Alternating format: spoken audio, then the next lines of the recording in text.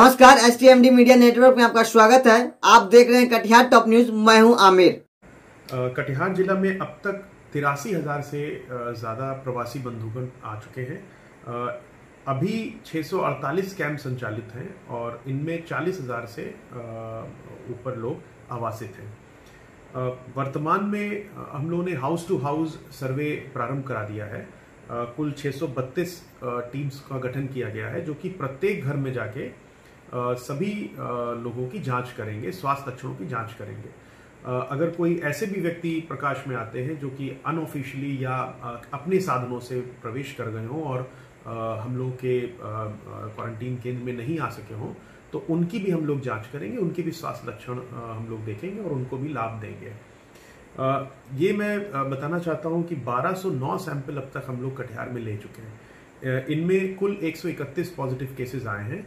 और जो संतोषजनक बात है, वो ये है कि 44 लोग कुल नेगेटिव टेस्ट हो गए इनमें से। यानी मूल रूप से जो 131 पॉजिटिव केस थे, उनका रिपीट टेस्ट जब कराया गया है तो 44 लोग नेगेटिव टेस्ट होके आ गए।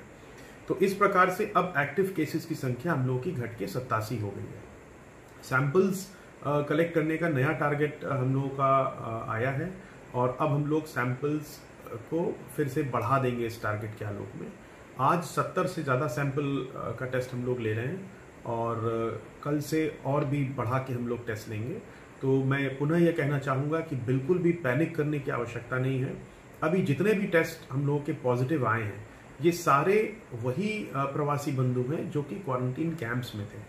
और इसलिए मैं बार बार कहता रहा हूँ, फिर से मैं बहुत ज़िम्मेदारी के साथ अभी कहना चाह रहा हूँ कि कम्युनिटी स्प्रेड की स्थिति अभी भी नहीं है। ये जितने भी संख्या बढ़ी हुई दिख रही है माइग्रेंट्स की बढ़ी हुई है। और हम लोगों को इसलिए ये ध्यान रखना बहुत ज़रूरी है कि हम लोग सोशल डिस्टेंसिंग का पालन करें। लॉकडाउन का क्या स्वरूप होगा, किस प्रकार से एक्सटेंड होगा, नहीं होगा, ये तो आने वाला समय बता देगा। लेकिन उसका जो भी स्वरूप हो, हम लोगों को ध्यान ये रखना होगा कि हम लोग किसी भी तरह से अब भौतिक निकटता से दूरी बना के रखें, भौतिक रूप से दूरी बना के रखें। अगर बाज़ार भी जाएँ, अगर एक दूसरे के यहाँ भी जाएँ तो जितना हो सके दूरी बना के रहें ताकि इस इस वायरस की कड़ी को हम लोग समाप्त कर सकें। बहुत बहुत धन्यवाद।